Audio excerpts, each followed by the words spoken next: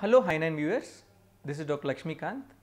Laparoscopic cholecystectomy is a gold standard for removal of the gallbladder. Gallbladder is removed when there is infection of the gallbladder because of gallstones. That's what we call it as cholelithiasis or inflammation of the gallbladder which is cholecystitis because of gallstones. So, what is laparoscopic cholecystectomy?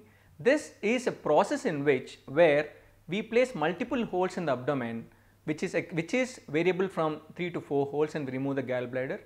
Two holes are necessary for handling of both hands, one hole for viewing and one hole for retraction of the gallbladder. This laparoscopic cholecystectomy is the gold standard for removal of the gallbladder. So, this is a process in which where you see the gallbladder very nicely by laparoscopically and delineate the anatomy very well because the gallbladder has blood supply with the cystic duct and cystic artery. So, which have to be very well delineated and cystic artery and cystic duct are clipped and removed laparoscopically. So, why laparoscopic cholecystectomy has become very popular over the years gallstones and the disease of because of gallstones have increasing in great, greatest propensity.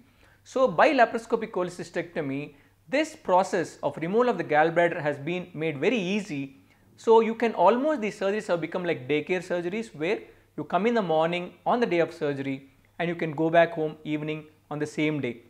So, this cholelithiasis with cholecystitis whenever they become symptomatic that is that is symptomatic gallstones these can be managed laparoscopically and you can get back to your routine life as fast as possible.